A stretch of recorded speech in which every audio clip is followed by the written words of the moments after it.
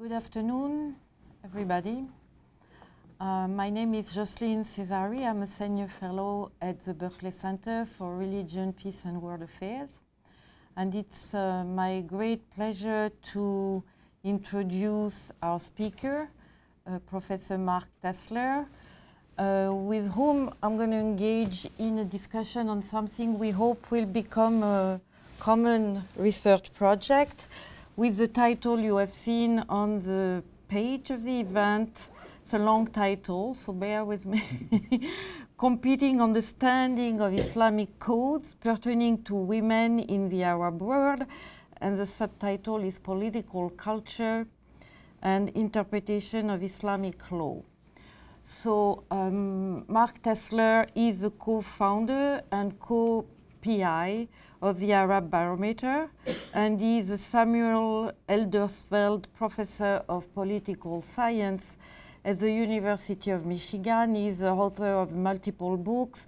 Uh, you have more of his bio on the uh, page of the event, and so I'm not going to give you more um, details. They are all accessible. So what I will do is give uh, Professor Tessler the floor for 30 minutes and then I will take some position on the on the last results of the Arab Barometer. So I'm very happy to be here, and uh, I appreciate the invitation. Um, we did have a little bit of a conversation about current events in Israel and Palestine yes, right now, yeah. and uh, we thought it would be too much of a digression to kind of put it up front on the agenda. Uh, we have something that we're particularly eager to have feedback on. Uh, but that if people want to offer some thoughts uh, without uh, taking too long in, in discussion, we can, we can have this be a bit of Q&A if that's what people want. I also should say that uh, Jocelyne and I spent the morning putting together the structure of a paper we hope to write. It's, uh, it's it'll be a new venture for both of us. It's got a lot of challenges, conceptual challenges, but I think this, the, the conversation we're having today will, will help us move forward on that. So this is the title of my presentation. Uh, the question is really, what does Islam say? Well, it says many things depending on who you listen to. I'll say a bit more about that in a minute. and I'm going to have to struggle a little bit because the slides are behind me and I can't see them. So I have them on my computer here so I can see what you're seeing, uh, but it's a good chance that at least once what's up here and what's up here won't be, won't be the same. So um, this is just a little agenda of what I'm going to try to go through. I don't know if I'll get through all of it. Uh, but we're talking about this question about how should Islam be interpreted? Who's doing the interpreting? Who, whose, whose views are, are, are important? Uh, then we want to know uh, what do ordinary citizens think of this? What do they think Islam says about women? Uh, and, and, other things as well. But today it's about uh, Islamic prescriptions pertaining to women. Uh, what do ordinary citizens think that people say? Well, I'll tell you a little bit about the data sets we're going to use. One is the Arab Barometer that Jocelyne mentioned briefly, and I'll say a little bit more about that. and another, and the other is a new another data set that if you are interested in doing public opinion research in the Middle East, uh, probably that's not what's at the top of the agenda for most of you. But if you are, there's some really good additional data available I'll tell you about. Uh, measurement, uh, just briefly, which questions am I using? Uh, what am, what's the concept I'm trying to operationalize when I uh, when we talk about um, defining uh, individual citizens with respect to this question? what are the questions I use? Why do I think these turn out to be good questions?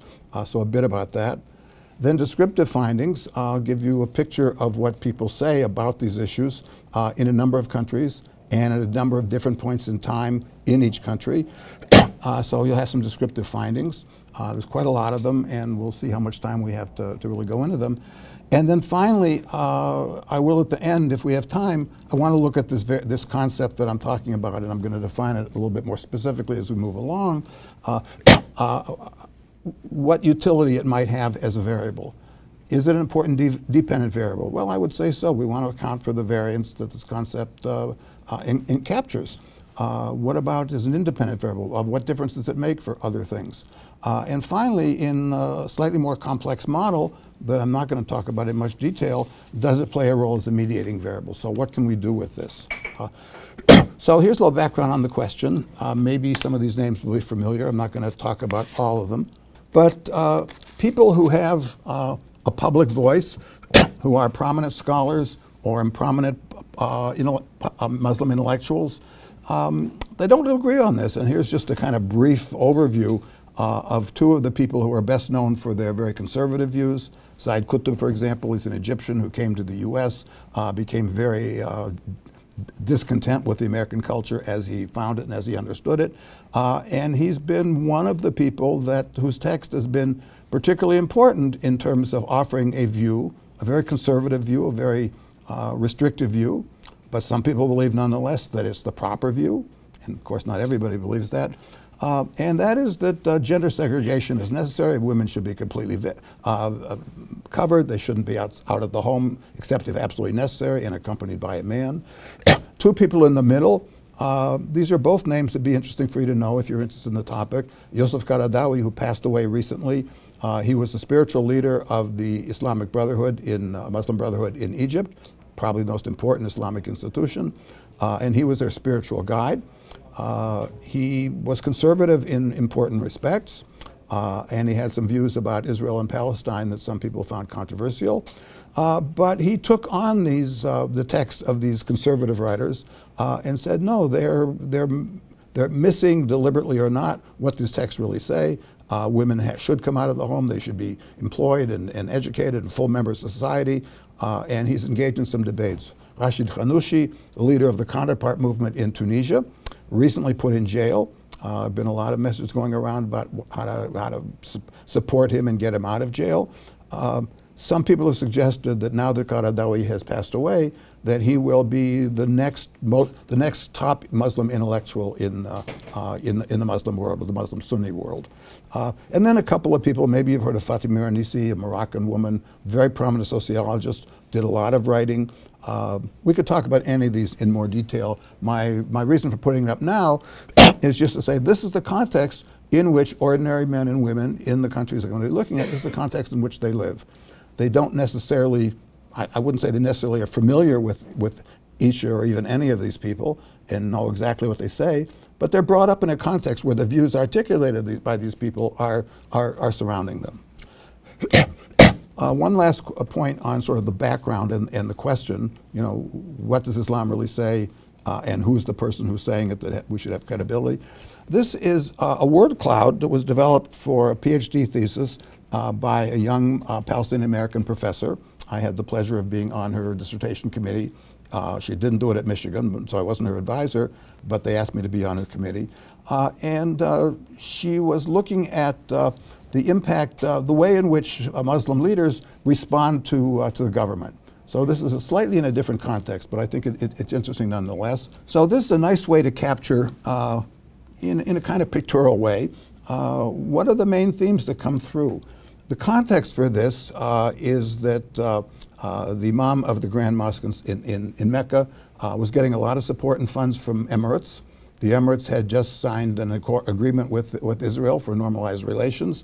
Uh, and so uh, this ought to be, or could be, or should be reflected in uh, the sermons and the, the speeches that, uh, that Sudais gave. gave. Uh, you see religion, Jewish, uh, in here a lot, Jewish. I'm pointing to the computer, you can't really see that. and um, it also tells us that uh, the views that are expressed by these Muslim leaders uh, sometimes are influenced by the government, uh, for whom many of them are employees, uh, and they are their salaries and their work is is regulated or administered by the Ministry of Religious Affairs. so it tells us to be a little bit careful about looking at uh, the views of any of the people that I've presented, uh, because they're also influenced by everyday political considerations.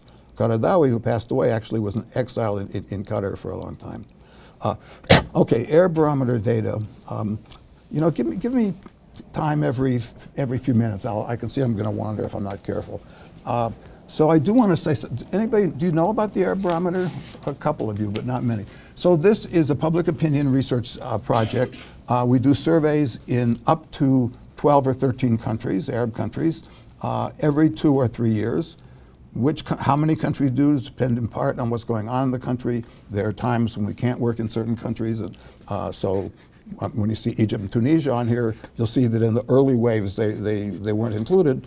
Uh, those countries were, were it, was impossible to work in those countries at the time.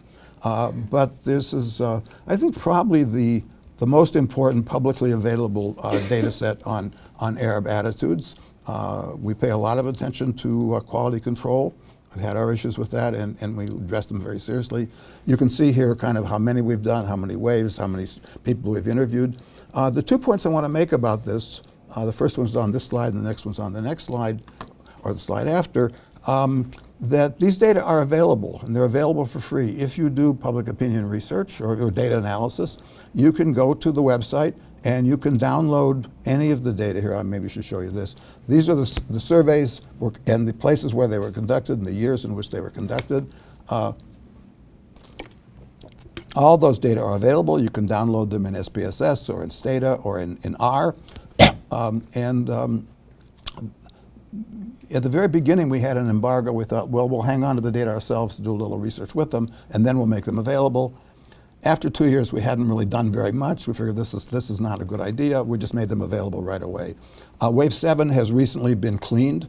Uh, we're about, and, and, on the website for those who want it. And uh, it's, um, uh, and you're, uh, and you're able to download it, I guess is what I want to say. So the only last thing I want to say about this, there's an online analysis tool. So if you're interested in this and you don't do database research or you don't have the software, you can go online uh, and you can find out what was the answer that people gave to any question in any wave in any country, uh, and you can do it just in general. 20% agreed with this and 30% were in the middle. Uh, or you can uh, or you can compare men and women or people in urban areas and rural areas. You can do, a you can do quite a bit through bivariate analysis without downloading the data. And, and it's fun to play around with it. And when you see uh, in Tunisia somebody said something in 2011, gee whiz, I wonder what they said two years later because there had been an Islamist government in between. So you can play around with it. Okay, here are the questions I'm using. These are from the Arab Barometer. Uh, there's another data set coming a little later. So here are the questions we used, and it begins with a, a, a, preamble. Today, as in the past, Muslim scholars and journalists sometimes disagree, should have said often disagree, about the proper interpretation of Islam in response to present day issues each of these statements, and we have some statements that don't pertain to women that are not really in this analysis, you'll get a, a little bit of a, a, feel for them later on, uh, indicate whether you agree strongly or disagree with this interpretation of Islam. Uh, so these are the two questions we've used for this. Uh, they are interesting in and of themselves, and you can see, and this is, this is the pooled analysis of 36 surveys, all the Arab barometer data uh, that uh, ask these questions and um, and you can see there are 41,000 respondents. So it's a, it's it's pretty big, and it comes from uh, 13 different countries. Some of the countries were surveyed more than once, and they're in here more than once. So it maybe overrepresents a little bit the views of Palestinians and Algerians and, and, and Jordanians because they were surveyed most often. um, but we'll come to the countries separately in a minute. Uh, but, but while they're interesting and I think important in and of themselves, I view them as indicators uh, that operationalize a, a, larger concept. And the concept is interpretation of Islam. Whether, whether you uh, are on the conservative or the ill traditional or uh, illiberal end of the spectrum, or whether you're more progressive, more contextual, uh, or somewhere in between. I'm not sure exactly what's the best way to, what's the best name to give to this dimension, but uh, that's clearly what it is. And, um, and so it's indicative of of, a, of, a, of the concept we're interested in, interpretation of Islamic codes pertaining to women, close quote, uh, and not just the specific answer to these questions. Down below at the bottom of the slide, uh, we've added the two of them together. They actually go in different directions, so we had to re uh, uh, redirect the, uh, reverse the direction of, of one of the items so we could just add them together. And we end up with a two to eight scale if you agreed strongly with the liberal position on both questions, in other words, you said one, strongly agree, as opposed to agree, somewhat agree, so forth, uh, you would get a two. And if you, if you strongly disagreed with both, you would get an eight. So we can see the distribution. Uh, it's the pooled analysis, so it doesn't necessarily apply to any individual country. But it gives you a pretty good view, and you'll see some individual countries in a minute, um, that uh, about uh, about 30 or 35 percent are on the liberal side. Uh, there are um, a lot of people in the middle, and uh, there are some, but not really very many, maybe maybe 10 percent or so, that take the more conservative position. That could vary from country to country, but that gives you a sense of one what we're what, what I'm trying to operationalize, uh, what the variance associated with that concept looks like. So this is a second data set. For those of you who might be interested, it's a data set that includes the Arab Barometer uh, surveys that we've just seen, but a bunch of other surveys as well, some of which are only available here. Uh, it's called the Carnegie Middle East Governance Islam Data Set uh, because I, I, prepare, I, prepared it with a grant from the Carnegie, Carnegie Corporation of New York. um, and uh, we have a larger N here, more countries. Uh, and uh, using the same two items, we get a slightly different distribution. Uh, a lot of people in the middle. Here's and, the last column is the one to, to pay attention to because it removes the, uh, the missing data, uh, which, are, which you don't see. Uh, and we can see that it is also skewed toward the liberal end. A lot of people on the liberal end, a lot of people in the middle, some people for sure, but less on the conservative end. I'm just going to say for those of you who know something about uh, statistical analysis, that I use factor analysis to, uh, to identify this dimension, uh, to, to determine whether it was part of some other larger, more inclusive dimension or uh, had explanatory power on its own. Uh, and the finding is it had on its own. These are factor loadings. I did something similar for uh, building a scale about attitudes toward gender equality. I'm happy to come back and talk about that more. I think I probably shouldn't spend a lot of time on it right now. Uh, okay, here's for the Arab barometer data, the first distributions I showed you. Uh, and uh, the mean of that distribution, the one we saw here, uh, is 5.5. Uh, and we can see for each of the, each for four countries, uh, even though we have more, we didn't do this for all the countries, and Jocelyne and I are going to add at least one country when we, when we expand on this. And you can see them for the four waves. Wave one is 2006, 2007, uh, 2010, 2011 for wave two, 2012, 13 for wave three, uh, 15, 16 for wave four. Um, there are some, we, we, we're not asking these questions in all the more recent surveys, but we are in some, and I'll, I'll be adding them. Uh, what are the takeaway? Uh, that one, uh, Tunisia is different. Maybe we'll say something about that in just a second. That the distributions for each country are pretty similar across time periods. There's a modest amount of variation, which means if the mean is uh, 4.7 on this 2 through 8 scale, that uh, there are a fair number, not a huge number, but there are a fair number of people that are pretty much above the mean or pretty much below the mean. And we could say statistically what that means. Uh, these are standard deviation scores. But uh, the point is that, uh, one, they're, they're, they tend toward the liberal side. Not a great deal, but clearly to the extent that there's a mean or a median, it's, uh, it's on the liberal side. Uh, there is some variation, not a great deal, but definitely some. Uh, and there is not that much variation from wave to wave. Uh, there are a few places we might want to talk about in more detail. Why is Algeria 4.9 uh, in wave one and 4.2 in wave three? I don't ask me that because I don't have the answer. I'd want to maybe go back and look at the data and a few other things. But in general, we get a, a, a, pretty coherent picture. The one country that's different is Tunisia. It's consistently uh, less. You might wonder why isn't there Tunisia and also why isn't there Egypt in wave one? Uh, under Mubarak in Egypt and under Ben Ali in uh, Tunisia, you couldn't do this. And so, uh, and we're, and so far we can do it now. We're there's a possibility that maybe we're not going to be able to do it again in the future. We'll see. Anyway, Tunisia is separate. It's much more liberal, and it's becoming even more liberal over time. Uh, there is some variation, but actually there's, there's more agreement. Uh, there's less variance around the mean in Tunisia uh, than in the other countries. this is something you might want to just glance at. We'd probably have to not spend a lot of time on it. For the uh, second bat batch of data, that Carnegie uh, Governance in Islam uh, uh, Middle East data set, uh, I have many more countries. and I can do what I did here for, for these countries as well. It's a lot to absorb, and I'm not presenting it for that reason, it's to kind of show you what's available. what we'll probably, what I would probably do, or what I would encourage those of you who might be interested in doing, uh, pick a few countries and look at them in detail, open up this mean, uh, see what the distributions, what the distributions actually are. Uh, to the extent there's a fair amount of variance around that mean, uh, that's something to investigate. What difference does it make for other things, such as attitudes toward gender equality, for example, or toward democracy? Uh, and uh, on what does it depend? Is it a function of religiosity? Um, we'll see.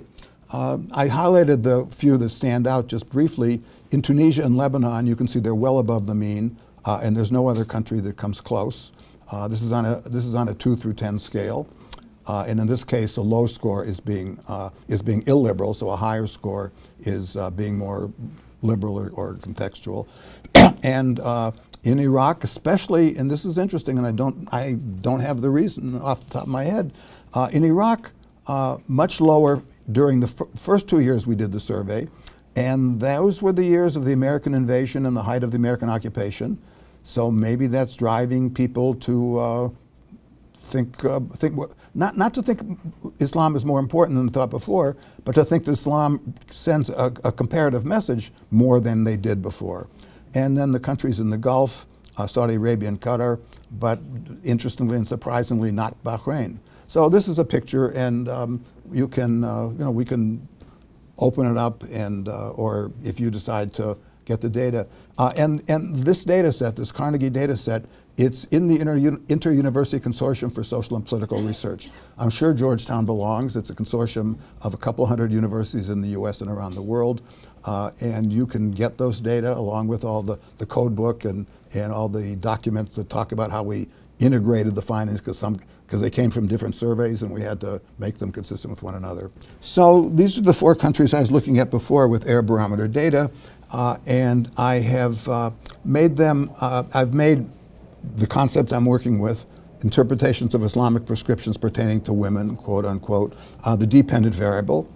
The analysis is pooled, so we've got we've got only only the country. We've, we've taken the countries one, one at a time but uh, we've, we've merged the waves. So we don't know if what we're finding here, when we consider all four waves together, whether or not this is uh, true of every single wave individually. So there's always the value in opening up the data and uh, in seeing if you can't unpack the situation a little bit more. um, but the findings are interesting. Uh, they require more work in terms of understanding what, uh, uh, what we're learning, as well as maybe some additional statistical analyses. Uh, we can see that, I won't go through all of it, but we can see that uh, women are more likely to have uh, a liberal interpretation of Islam. Uh, and maybe that's not surprising. Uh, but maybe women uh, would think that Islam is part of the problem, and that's some of the reason they don't have some of the rights they want, and they would have a different view. but in Egypt, Egypt is one country where female gender uh, doesn't predict to a more liberal interpretation of these Islamic codes. Um, religiosity, whether you're more or less religious, um, and uh, that, uh, that predicts in every country except Egypt as well. Well, possibly there's some sampling problems in Egypt. I don't think so because we've been pretty careful, but I would say this is a reason to go back and, and take another look. And you could ask yourself about, um, educa about uh, education and about uh, age. Uh, so this is a, a, very straightforward multivariate analysis to the extent that uh, um, to the extent that we might be interested in testing the hypothesis that more religious people are more likely to support a conservative interpretation, and that might not be correct. You might argue that wouldn't be your hypothesis. But to the extent that we might ask ourselves that question, uh, we would see that with age, education, and gender controlled, uh, that variable, now, now conceiving of, conceiving of it as an independent variable, has explanatory power to a statistically significant degree uh, in three of the four countries, but not in one of the countries. So you get a sense of, uh, and, and these are all descriptive findings. It's kind of telling you overall what are some of the patterns that emerge, uh, how do they vary from country to country, time period to time period, what do they seem to be associated with. Uh, there's a reason I used, I underlined the word pre predict up here because I'm, I'm not arguing that this is a causal relationship. It might be a basis for inferring causality. We might want to talk about that. Uh, but to the extent that uh, it's not self-evident that that's the case, uh, I just wanted to put predict in there so we wouldn't get in discussions about is it causal or not. Here's the last slide. How am I doing on time? Oh, okay, I think I'll, well, I'll finish in five minutes whether I get through the slide or not. Uh, so here I've taken this concept that I've operationalized. Again, I'm just restating it, interpretation of Islamic codes pertaining to women.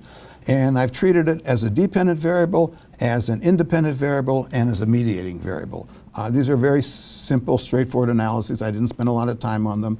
Uh, I just wanted to work them up for a presentation to show you some of the dynamics and the pathways that might be going on with respect to these concepts. Uh, at the top, it's uh, um, uh, it's an independent variable. The dependent variable is support for gender equality. One of the slides I skipped over, was on the slide for a minute, but I skipped over it mostly, was how I operationalized support for gender equality, which were the questions we used, and to what extent were we, was it legitimate to combine these questions and make them into a scale. so that's a dependent variable. Uh, and we see that the more liberal interpretation of Islam, of Islamic codes pertaining to women, does indeed predict to more support for gender equality, with a bunch of other things held constant. Uh, these other things turn out also to be important, so there's probably more to the story to, to tell. But in any event, uh, looking at it as an independent variable, yeah, it has some explanation. If you want to account for variance associated with uh, support for gender equality, what you what interpretations of Islamic codes pertaining to women you have is going to influence your attitudes, is going to predict to your outcome. Uh, treating it as a uh, a dependent variable. Uh, I'm sorry, wait a minute. This was simply treating it as a dependent variable. To what extent did religiosity as an independent variable predict to it? So this is just to give an indication of uh, some of the things that we might look at in relationship if our dependent variable is uh, uh, interpretations pertaining to, to women. Then the slide that I was on, where I kind of lost my track for a second, uh, uh, here it uh, here it treats it as an uh, as an independent variable. Uh, it was a dependent variable in the previous slide. Here it's an independent variable, and the dependent variable is support for democracy. I'm sorry, I'm, I, I hope you can follow this. I'm kind of uh, mixing myself up a little bit. The previous slide was a dependent variable. Here it's an independent variable with the dependent variable being support for gender equality. All of this, even if I've made it, explained it not in the most uh, coherent way, is to give you a sense of the different ways in which this, this variable that we've operationalized might be useful. The last way here is a mediating variable on the right, the two. So if we take support for democracy as the dependent variable, for all these things, there are questions about measurement, and I could tell you the items that we used. And education is the independent variable. So, yeah, it seems that higher levels of education predict a more support for democracy. Uh, so, why don't I leave it at that? Well, I need to have a causal story. I need to know the pathway. What, what, in what way and in what kind of a pathway does education end up le leading to support for democracy? Uh, well, it seems to run, again, this is a kind of a straightforward analysis with, with only two variables. It seems to run through uh, interpretation of Islam. Uh, once interpretation of, of Islamic codes pertaining to women is in the model, education seems to be, ceases to be important. Uh, if you follow statistics, that's an important finding, that there is, we thought there was a direct relationship, but in fact, it's probably really an indirect relationship. There's probably education seems to lead to certain other attitudes, which in turn lead to support for democracy. Well, some of those intermediate or, or uh, mediating uh, variables are, uh, variable uh, uh, interpretation pertaining to Islam.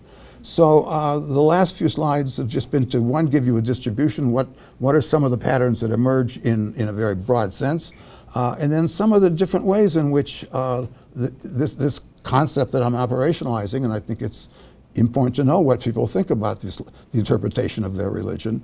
Uh, that's a variable that can be can add to our analyses in many different ways, including as a dependent variable, including as an independent variable, and including as a mediating variable. So, uh, with a little bit of confusion, I managed to stop on time. Thank you very much. So you may wonder how do I come into this? so to give you a little background, I heard this presentation or uh, a version of it last June, uh, also in Washington D.C. from uh, Mark Tessler, and um, we started a discussion on what would be a sort of different aggregate uh, independent variable that would be not only on different interpretation of Islam, but locating this different interpretation of Islam within national cultures. Because what is also striking is not only the liberal liberal, it's also the differences between countries that are um, more or less uh, following, especially uh, um, when you look at uh, Algeria and Tunisia, they are especially following the same school of jurisprudence. So um, the idea would be, so this is work in progress, so I'm not going to give you a wrapped up interpretation here or, a theory. But the idea is to locate this kind of findings into a broader uh, context that is about here modern political culture and Islam, but really um, what I'm saying here because I am working really on religion and politics, not only Islam. Uh, it's about the status of religion in modern national communities.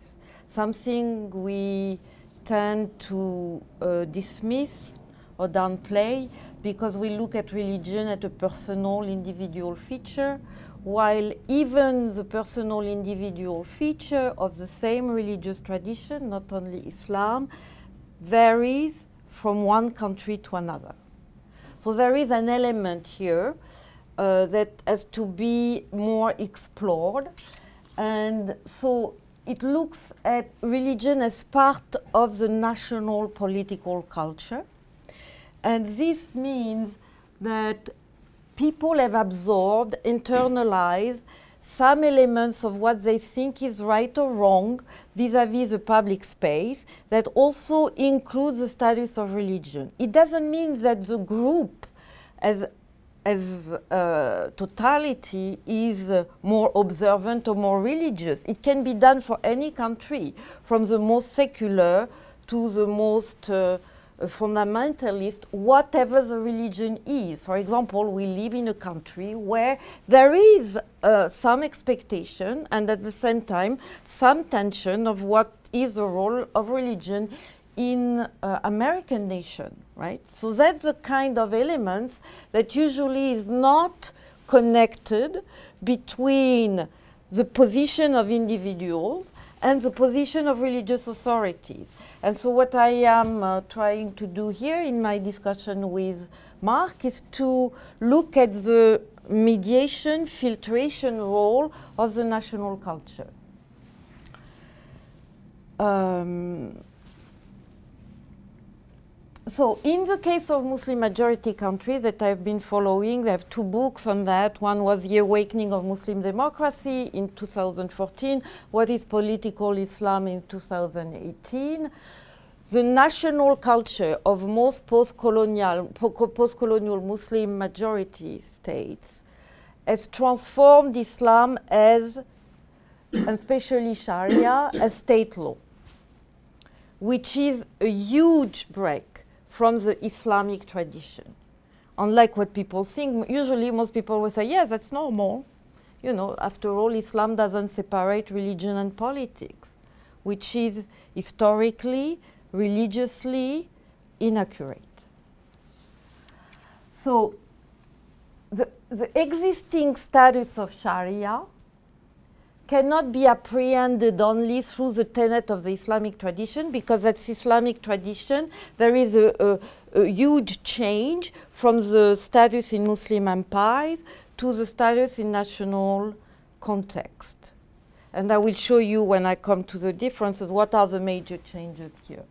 So what, what uh, modern national culture is the monopolization of some elements of the religious tradition by the state ruler. And that's what I call nationalization of Sharia. So, what does it mean concretely? Um, and before I go, uh, I give you the three elements of this nationalization, you will see here results that I was using in my previous publication that in some way echo the recent waves of the Arab barometer. When you ask people in different Muslim countries, they would tell you that um, politics should follow the rule of Sharia. And this comes not from the outliers, as I call them, Iran or Saudi Arabia. It comes from all these middle of the road country that we are discussing before. Um, and it's interesting because I also say that the Sharia principle should also apply to non-Muslims, while in the Islamic tradition, they don't. So what happened there? Because Sharia in the Muslim empire doesn't apply to non-Muslims. There is a special term for that, which is called Sharia Siyasa, which is different. So what happened in modern time to explain that? And so that's why I call that more theoretical approach that I want to get into here. So you see here new expectations about Islam that are carried by citizens and that are not only reflected in the position of Muslim scholars across borders, but that are um, embedded in the way that the new nations have been built. So that's why I have called in my work hegemonic Islam, which is um, the way of understanding Islam uh, associated with the boundaries of the nation. So even if you are Maliki, you are Algerian and Muslim, and you are Tunisian and Muslim. And your interpretation of Islam will be bounded, will be shaped by the expectation of the national culture on that. So what have been the major processes of this nationalization of Islam that you can find in all the majority, Muslim majority countries? There are a few exceptions. Lebanon, because it's a multi-sectarian state. Senegal. Uh, now Tunisia has become an outlier a little, and that's why it's going to be interesting to work with Mark on the new stage. Um, and I'm forgetting one, but it will come. But most of the Muslim majority country follow this nationalization of Islam. So what does it mean? Three things that you find everywhere, and I'm pretty, I'm going to say it everywhere. One, nationalization of Islamic institutions and cleric. Again, you go back to the pre-national status, the foundation, the clerics are not paid, not controlled by the caliphal administration.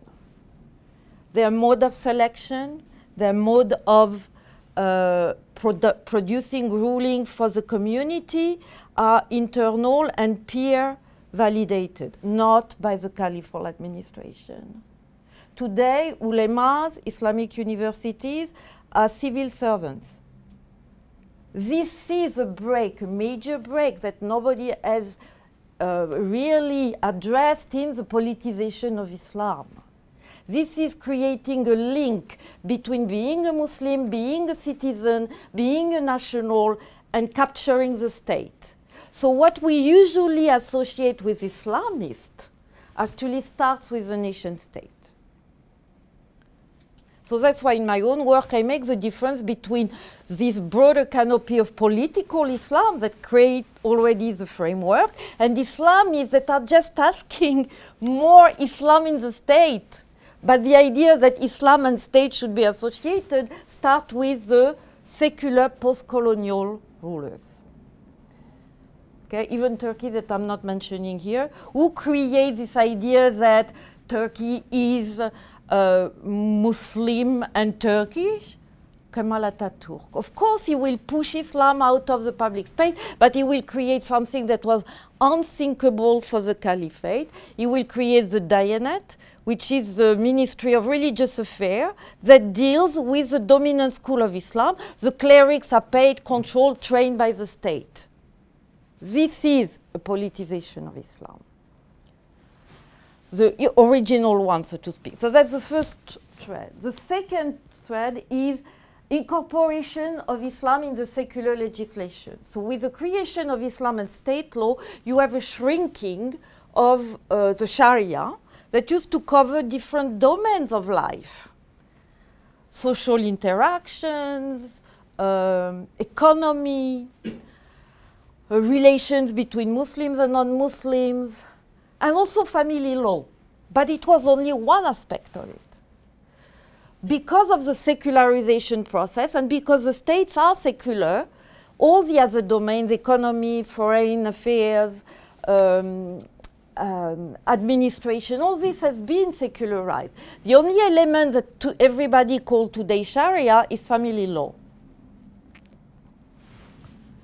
And that's why you find most of the element of Sharia. That's why most of the debate today on the extension of Sharia come from how do we moralize the public space and what is the site of contestation of this moralization of the public space? The women body. Because that's the, the piece that people are most familiar with, that they have been educated with. To be a good Muslim is also to uh, promote a certain moral Muslim vision of the family. And so that's also why the Islamists are most of them pushing on this domain, the, the Islamic finance, the uh, Islamicization of penal law, what's called hudud. This is outliers. Again, you see that in Saudi Arabia, you see that in Iran, but most of Islamist parties, even when they get into power, they do not promote or, or, or mobilize for that because they have been socialized in an idea that, you know, the moralization is about family and women in the public space. And this comes from here. The third element and that's also an important one, is that what used to be the traditional transmission of Islam through the autonomy or independence of the ulema is now part of the state education system. So uh, through the work I have done on most textbooks, you can see that most of the time the history of Islam is associated with the history of the nation. Like there is no before. And everybody, Muslim and non-Muslim, because there are also diverse kinds of citizens in all of this country, or most of them, you, you have to go through this education. Like a Copt used to say, I am Muslim by nation, and I am Copt by religion. So that is this level of national culture and Islam that uh, that's a work in progress. We don't know. Maybe this is going to be invalidated in the work we're going to do together. But that's the kind of concept here that can operate as the independent variable to explain the diversity, but also the middle of the road that you have seen on the question of, of women, co-education, and hijab. Okay? So I have another slide that I'm going to pass because otherwise I can do a whole session on that.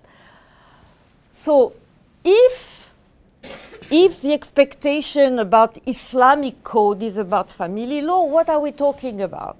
Hmm? So we are talking about marriage, divorce, custody of children. And all the countries that Mark presented, Algeria, Tunisia, Egypt, and Jordan, are all variations. They are middle of the road, which comes up very uh, strikingly in the, in the survey. In all of these countries, some elements of um, Islamic prescription are used to define what's the marriage, what's the divorce, what's the custody of children. I didn't have here inheritance.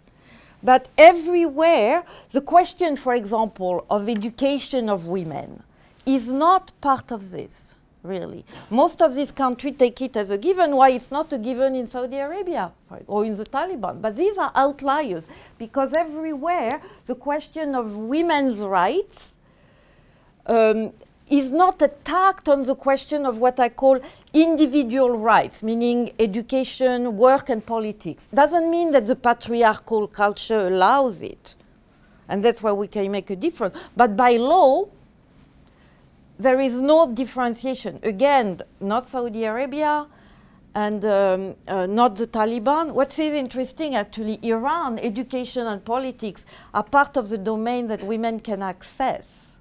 I always make the joke that Iranian women can run for president, but they cannot divorce their husband.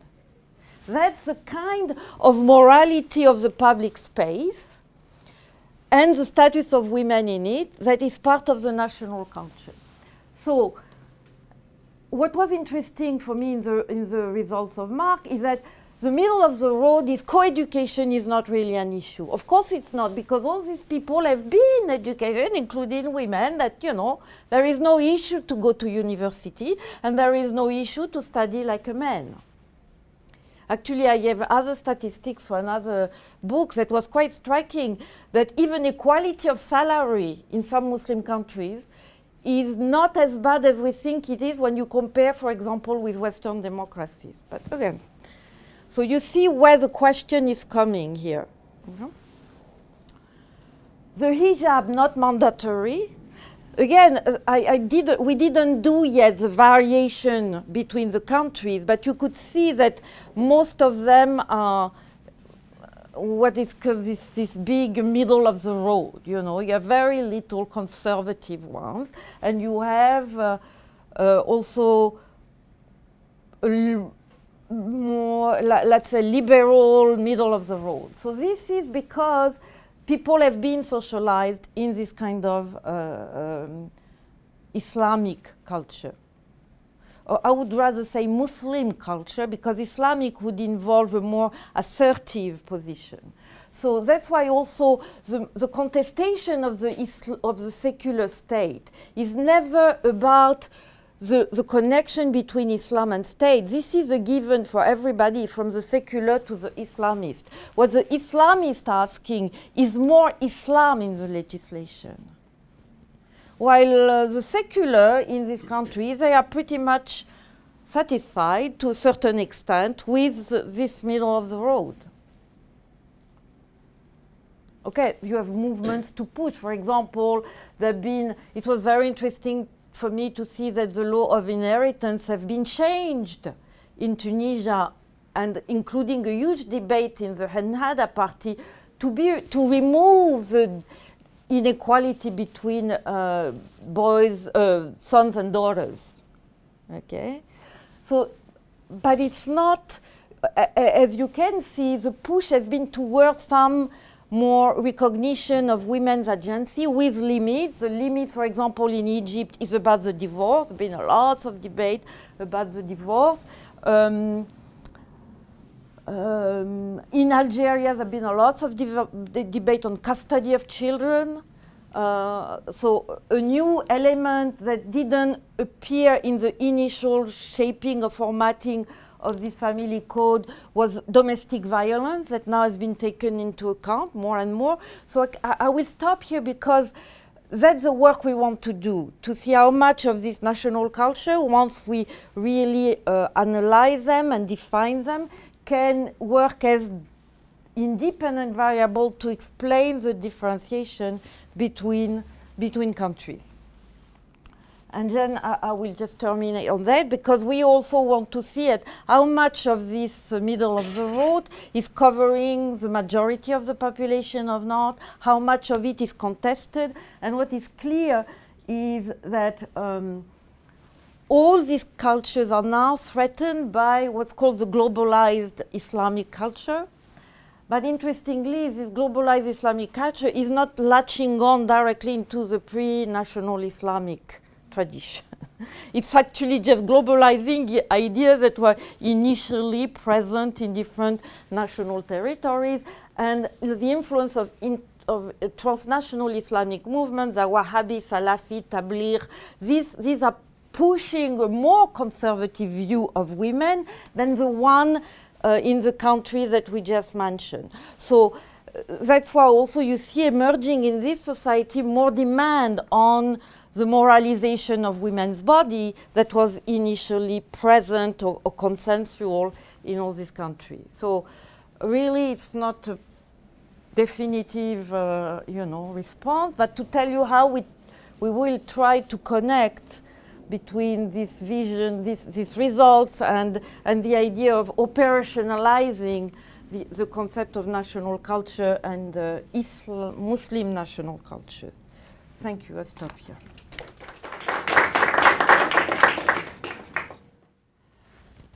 So now I take back my uh, hat of moderator, and the floor is yours.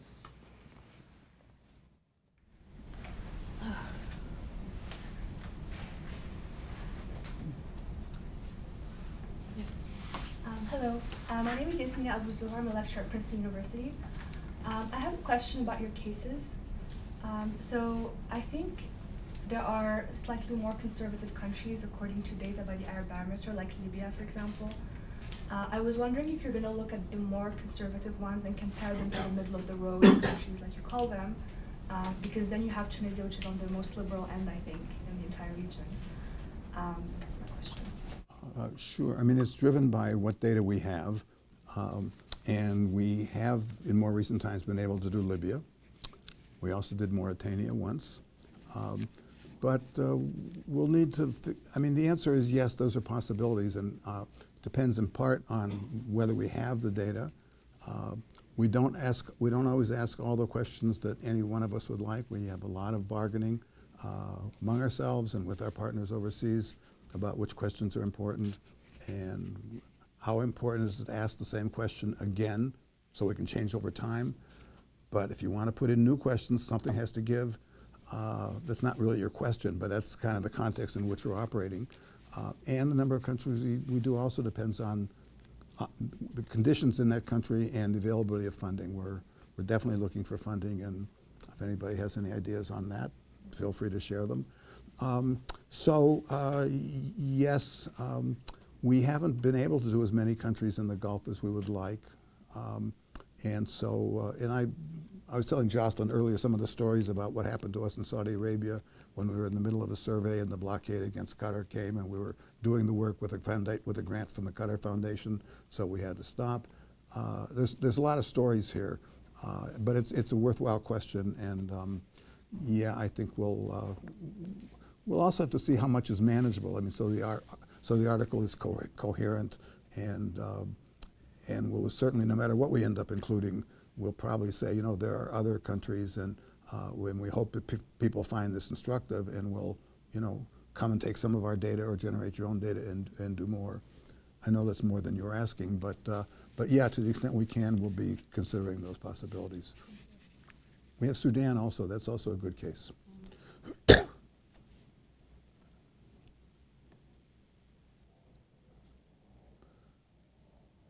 Well, thank you all for sitting so quiet.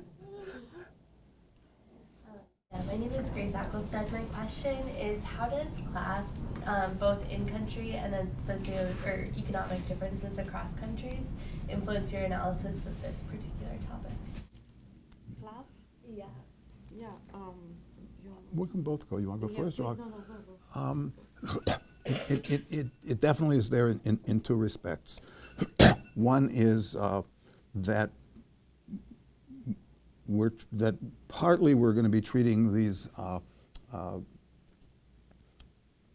this this organizing uh, variable or concept uh, interpretation of Islam uh, at the individual level, and we can we can and are and and to some extent in other studies, not necessarily the one that Jocelyne and I are doing together. Uh, we want to see how we account for that variance at the individual level, and class is certainly something that would be potentially important. I mean, there are a lot of things that we would look at. Class or socioeconomic status would be one, and we have some interesting questions that try to measure that in a way that's comparable across countries. Uh, we can't simply ask what your income is. Uh, but there are a lot of other things that's important as well, and they're not necessarily only the, uh, the so-called familiar demographics, uh, education and age and sex, those are important, uh, but internet use and a bunch of other things. So there's a lot to be done, and uh, and it, it, ought to be a collective uh, endeavor. I mean, you, you and your friends and others should take the data and uh, do some analysis. um, I mean, that's what the data are for, so we want you to do that too. The second way is that in, in terms of how it connects with what we're doing together. And uh, that is that uh, I mean, the, the, structure, I guess, I mean, Jocelyne can say if I've got this in a way, if we agree, but um, is what is the national circumstance with respect to this modern political culture in Islam or this national culture? Uh, what does it look like uh, as an independent variable, as she said? Uh, and we want to ask one, to what in general, broadly based, do we think it tends to give rise? And two, uh, how broad and deep is that penetration? Does, that have, does it have that impact on different social classes? So these would be, I don't know, conditionalities, or, or we'd be disaggregating the data and looking at the impact of the national circumstance on uh, different classes of people. And, and we'd be disaggregating on other variables as well. Yeah, if I may add, there is um, that's something also that we will discuss and explore. This idea that the more socioeconomically advanced you are, the more liberal you are, and there are lots of um, invalidation of that in different areas. So I cannot tell you now that's the causality or correlation right there, but that's what we want to explore because we know through different empirical studies that actually educated urban elite, middle class are, are, conservative. I mean, they, they can have more, I would say, conservative position than the one we are just looking at. So again, we don't have a response sure. yet, but that's the kind of thing we want to look into. Yeah. But that, that's also variance to be explained. So among people in a so, certain class, maybe the, let's, let's start with the so-called elites and we'll have to figure out what we mean by that term and how we measure it. But once we've got it, uh, so some are pretty conservative. Maybe that's a surprise to us. Maybe if we knew the country better, wouldn't surprise us. Uh, but if some are more conservative and others aren't, what accounts for that variance? Maybe it's uh, lower class men, upper class, elite men that are one way and elite women. So if we don't add that additional variable, we really won't account for the variance. And you can't do this. You can't add variables forever and ever and ever, and your n gets smaller. But uh, but certainly in terms of conceptually, it's clear what we would do, and I think we can go a fair amount of distance empirically. Yes. Hi. Um, my name is Amanda, and I was wondering if you have done any research or asked any questions about um, views on interfaith marriage. Um, I don't think so. I'm trying to remember if we have. I'm pretty sure we haven't. Uh, yeah. I, I don't think so. I mean, it would be, it would be interesting. Uh, and there are a lot of questions that come with that. If uh, uh, a Muslim man marries a, marries a Christian woman, uh, who are the, what are the, what are the what's the children's nationality? Well, it's going to be Islam. What if it's uh, a Christian, a Muslim woman who marries a Christian man? Uh, is it going to go with the father or is it going to go with the Muslim? so I, I, I think these are interesting questions, and I guess that's what you had in mind why you asked it. Uh, but I don't think we have questions on that. Through the work I have done through the different countries I studied. So the, the Islam, is the family law that we just discussed, is the law by default. Let's say, uh, let's say you are, you, if you are in, uh, in Egypt, you are Copt, you marry in your church. You are Muslim, you marry uh, in the Sharia court that actually state court, okay? I mean, there is no real Sharia court in the traditional sense anymore.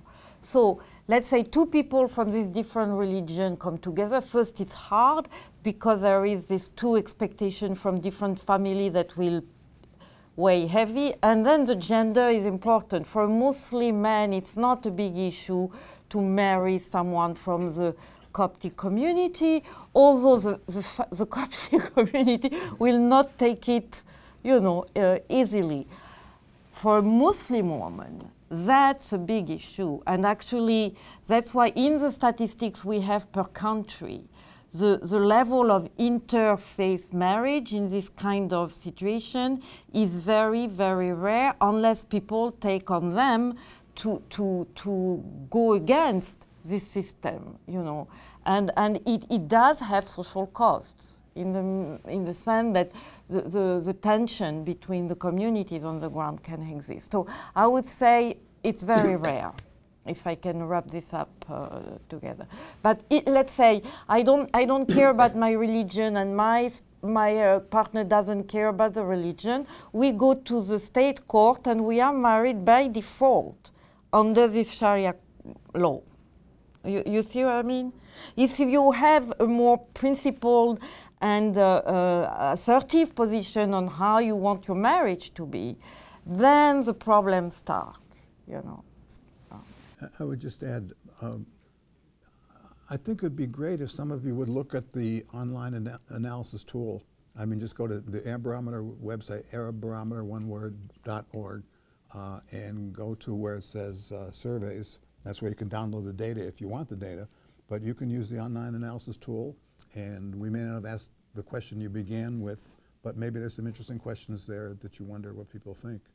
And then you can see if it's different for men and women, if it's different for uh, the survey to uh, the previous wave. Uh, I think I think you'll find it enjoyable to play around with it, and leads and it leads to a lot of questions, things you confirms things you thought, or uh, challenges things you thought. I think you can have a lot of fun with that.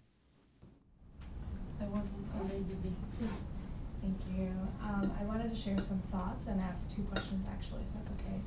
But First, I think it is really interesting to see the attitude in the Gulf kind of speaking to class dynamics, seeing as like, you know, GNP, the national per capita.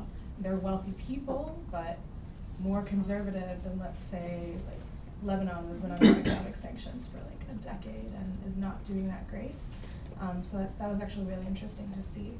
Which leads to my first question. I was wondering if you could speak to, or if you've conducted any analysis on the racial and ethnic within national borders dynamics. So, for example, I am thinking about the Gulf and I'm thinking about Saudi Arabia, where actually there are more uh, migrant workers and domestic uh, and, and, and domestic workers than there are native Arab people in Saudi and in, in the Gulf states. I wonder if that shifts attitudes towards, you know, not, not only just women, but also how people buy into this national identity shaped by Islamic culture and, and what, is considered the, the hegemon for that, whether particular nation state or broadly more in the region.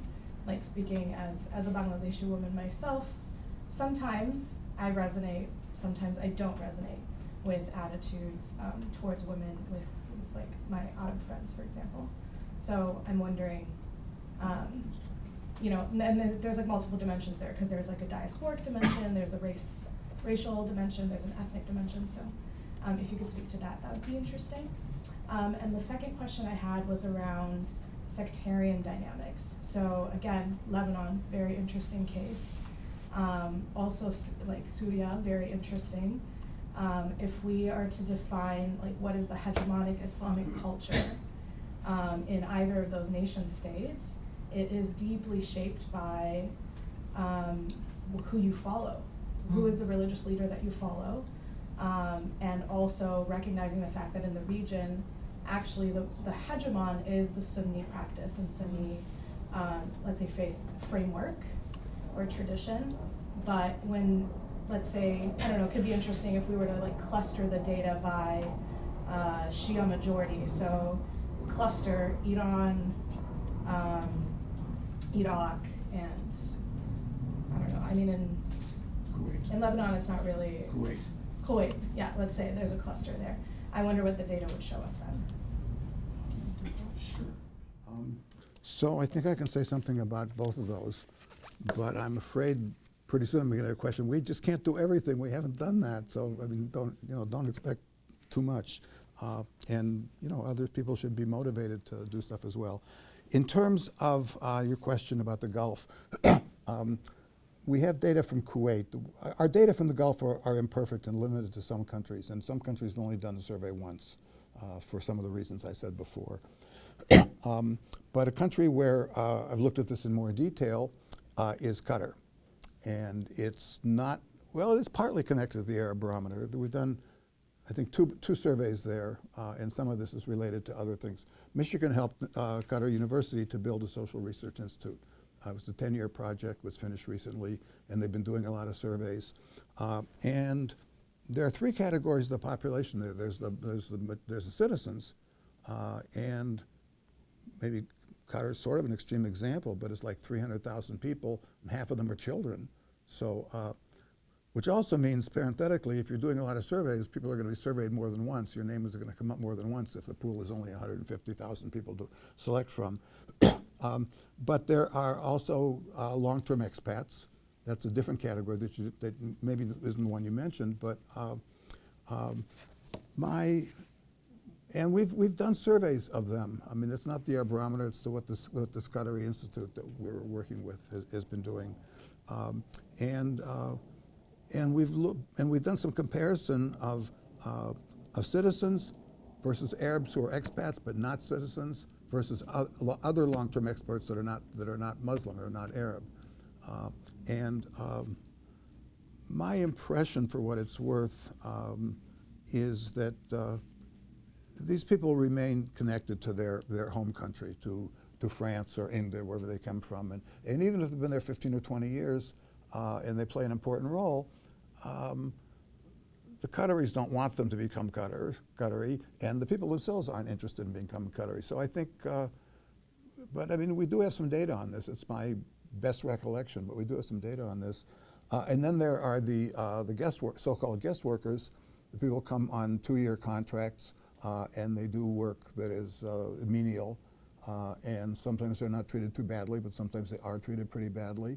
Uh, and uh, we've done some surveys among them. One of my PhD students did a dissertation about four or five years ago on this um, and used some of the data that our institute in Qatar, it, the Qatar Institute, it's not a Michigan institute, we just helped them to create it.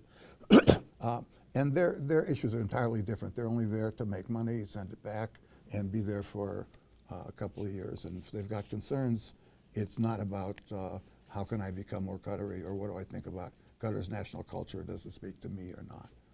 Uh, in terms of Lebanon, um, th that would be great. I can say two things. One, we've done a lot of surveys there, and we have a lot of questions I think are the ones you'd be interested in.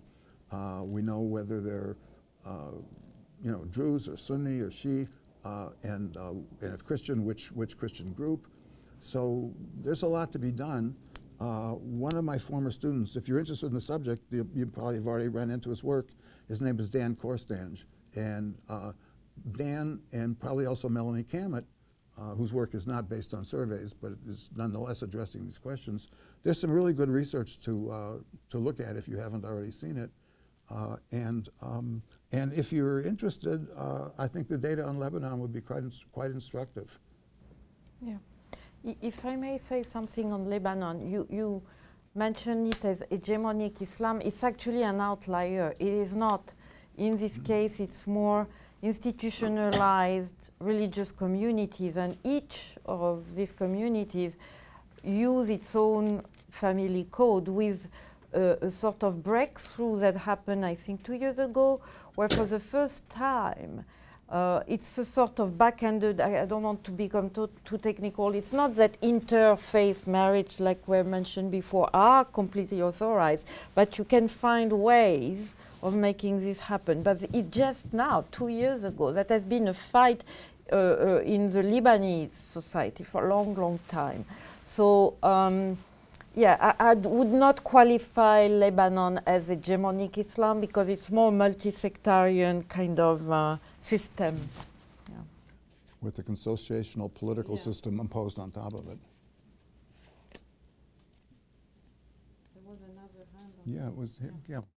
First of all, thank you for coming. Um, so my question was more also in close regard to Grace's question in that uh, you mentioned during your presentation you might have had some sampling issues, I believe, with, with the data in regards to Egypt, if I'm not mistaken. So I was wondering, what was your uh, sampling process like, and were there any obstacles facing, such as um, accessing information from like hard to reach groups? Yeah, I, I, wasn't really referring to that. I was referring to the fact that for political reasons, given the political circumstances, we just couldn't do it in certain surveys. So there, so you will see on the list of surveys that Egypt and Tunisia also uh, weren't done in some of the early waves because it just wasn't possible.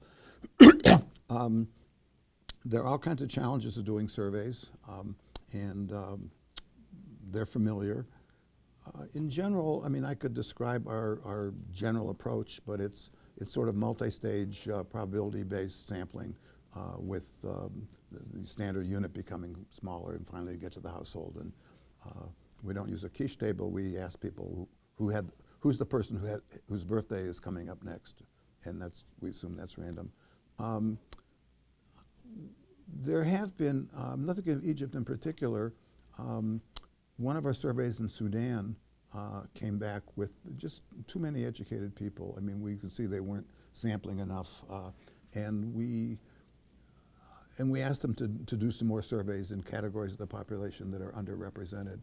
Uh, we do stuff like that sometimes. Sometimes we just say, well, we can't do everything, so we'll weight the data and hope that that uh, uh, addresses the problem. Um, so, and I will say we have, a, I think, a pretty rigorous quality control. Um, we have, uh, there are some gaps in the data. In some, certain countries, certain countries weren't surveyed in certain waves. And one reason is the conditions in the country like Tunisia and Egypt just didn't make it possible. But that's not the only reason. Some of those gaps are because the data are bad, and after agonizing a bit, we said, uh, we can't really clean them, let's just throw them out. So you'll find, uh, I can think of two in particular, not too many, but a couple, uh, and, uh, and maybe a third one, which is partially what I'm saying, um, that we just, uh, we said, you know, it's just not worth it. We'll just not have those data. Uh, so, I mean, that's a partial answer to your question.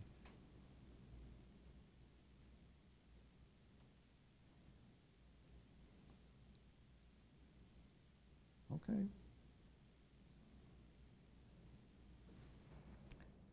Last call for questions.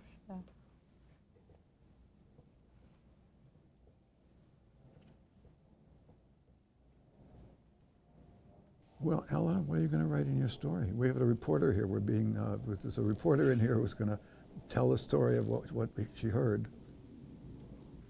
Well, I mean, I'm hoping to go over the event and then also what I talked to you about why it's important. Okay. Sure. Didn't want to put you on the spot. We're just, we're looking for questions. Okay. And um, I think maybe we'll forget about Israel Palestine. Yeah. Yeah, I think if it didn't if it didn't come up, that's fine. Yeah. Yeah, because it's okay. Yeah. Yeah. No. Um, I guess going once. So if there is no more uh, question from the floor, I think we're going to close up. Thank you for. Oh, um, there is one more question. Actually, but I'll add something uh, to your um, lecture. Um, yeah. There was some pressure on the ma male side, uh, but it did not attract, attract much attention, public attention, I would say.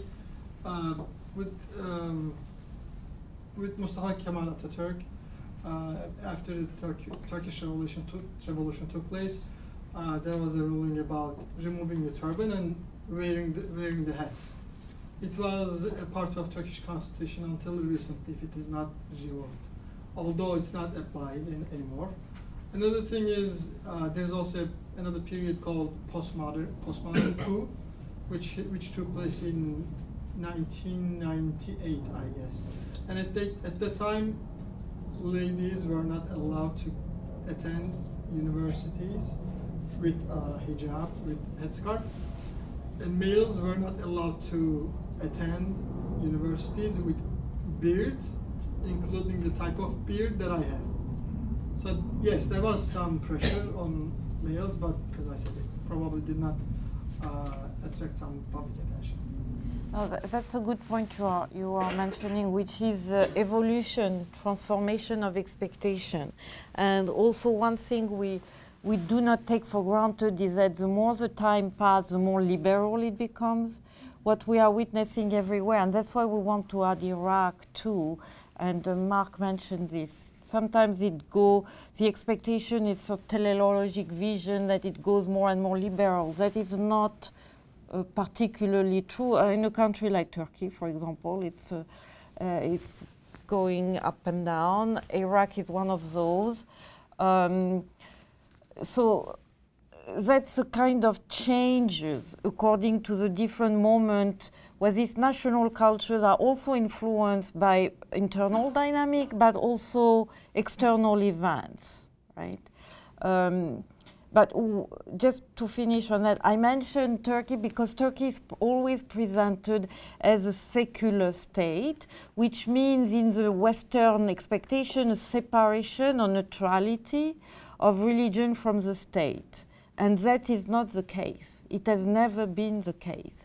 Meaning, what, what uh, the secularization in Turkey mean, meant, it was a, a privatization of religion at the social level, but a complete politicization and absorption of Islamic institution into the state system, which is unheard of until the nation state. And, and so that's the kind of discrepancy. That's why when we compare secularism in the UK or in France and in Turkey, we, it's like comparing apple and oranges. Because what level of secularization are we looking at? Um, and in my research, it's clear that the secularization in most of Muslim majority country went with an institutionalization of Islam and a control of Islam by the state that didn't exist before. While in, in the mind of everybody, it means neutrality of the state. And, and that's what we want to break here because um, because Islamists don't come from another planet, you know. Al- They come from this kind of culture when it expected to be a good Muslim, a good citizen, implies control of the state. Okay. uh, um, I can go on, no, I prefer And- and not. that- That brings up the question to the extent that that's the common denominator, Yeah. uh, but there are differences in the state. Yes. What are the, what needs to be added to that common denominator to show how, it- how, it- how it varies and why its impact might be different?